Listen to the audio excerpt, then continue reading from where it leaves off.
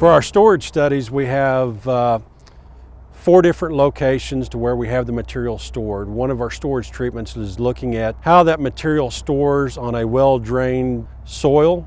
We also look at how that material stores on a gravel pad and then also with plastic underneath the material. That would be in our fully wrapped stacks. We're interested to see how much dry matter loss uh, we have in the lower parts of the bottom bales. One of the largest uh, issues that we have with the ground interactions is going to be ash content. Uh, as that material uh, sets over time, we have soil that migrates up into the bale. Uh, we have that bale starting to break down.